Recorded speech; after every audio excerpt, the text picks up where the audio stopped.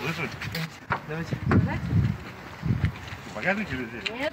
Впервые почти за 10 дней заточения собака оказалась на улице. К машине волонтеров ее несет сам хозяин, но их встреча была недолгой, не более пяти минут. После чего парни снова отправили в ОВД для отбытия административного наказания. Собственно, из-за этого собака больше недели находилась в заперти. Ключи молодой человек отдавать никому не хотел. Круглосуточный лай собаки мешал жителям дома. Но люди переживали не только за свой комфорт, но и за состояние животного. И вот теперь этот милый песик э, с символичным прозвищем Шерлок нашел своего хозяина.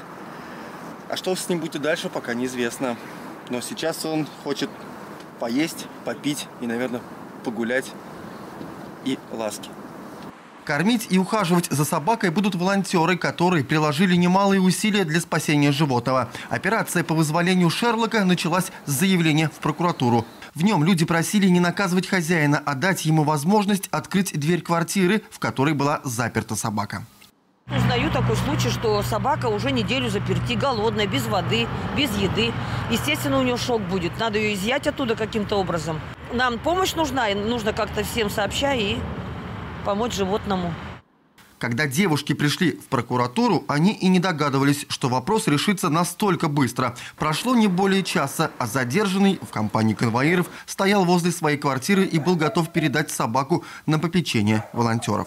Большое, как, Как бы, в сказке. дежурному прокурору, то, что как бы этот откликнулся. Посодействовал, он говорит, посодействовал, это... большое это сделал, то, что как бы нам животное отдали. То есть животное сейчас как бы будет на передержке, а там уже как хозяин выйдет, как уже этот, когда позвонит, будем решать, куда что, чтобы не было, чтобы не происходило опять такой же ситуации.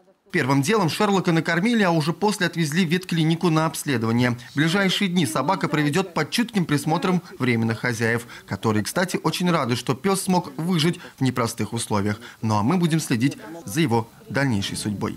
Александр Комаров, Евгений Лазаев, Новости НТР.